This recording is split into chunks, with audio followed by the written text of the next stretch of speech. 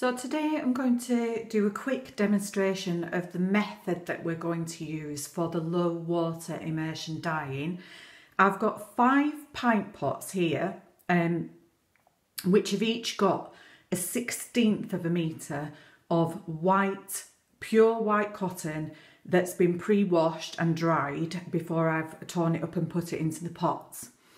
And we've also got two small beakers of um, of pre-mixed dye that I've mixed before. Um, this is a turquoise, it's Procion dye. This is turquoise and this is golden yellow. I would probably prefer to use a lemon yellow because it's more of a pure yellow, but I didn't actually have any. And you will get a yellow effect with this. It is a bright yellow. It will just be slightly different depending on what colours you choose, but we're working with the primary colours.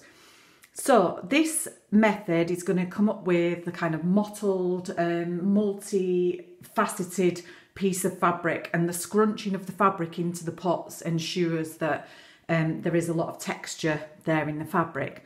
So the first thing we're going to do is we're going to take one of the dyes, it doesn't really matter, I'm going to start with blue, and a second beaker. And I'm going to pour half of this dye into this beaker roughly half. And I'm going to then put the pot that's in my right hand onto the large pot one. I'm then going to top up again my um, first beaker to the two thirds point with just plain water. I'm then going to pour half of that into the second beaker and pour that onto pot two. Again, top up to two thirds. So you're getting a, a half strength each time.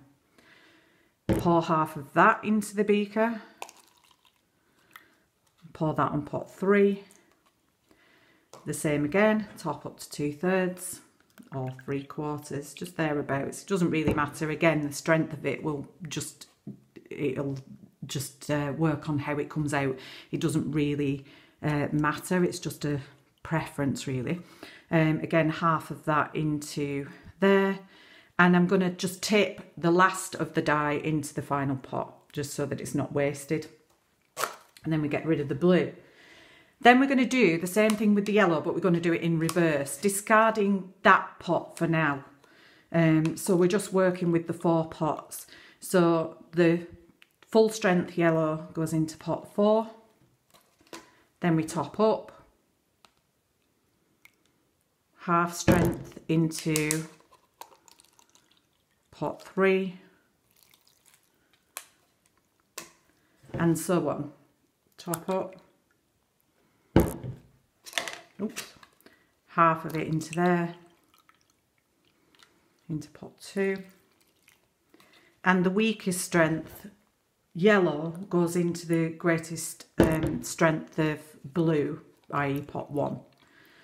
Then um, with the remainder, we're going to put that into pot five, the one that we just ignored in the beginning.